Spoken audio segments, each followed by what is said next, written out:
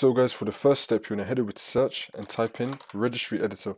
Click on it and then click on yes. And now once you're on this, you can follow everything I'll be doing up here. So first you want to expand HK local machine and then you want to expand software and then you want to expand Microsoft and then you want to expand Windows NT. You want to scroll down till you find Windows NT. You want to expand that and then you want to expand current version and then you want to scroll down until you find profile list. Here it is, you want to expand profile list.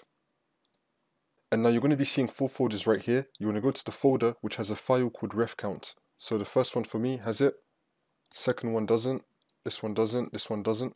So you want to go to the one that has ref count. Here it is. And now once you find ref count, you want to double click on it. You want to change the value data to zero. So if the value data says like one on it or any other number, you want to change it to zero and then click on OK.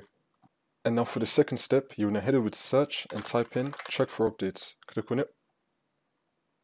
And now once you're on this, you want to click on check for updates. Make sure the computer is fully up to date. Now you just want to restart your computer and then the problem should be fixed.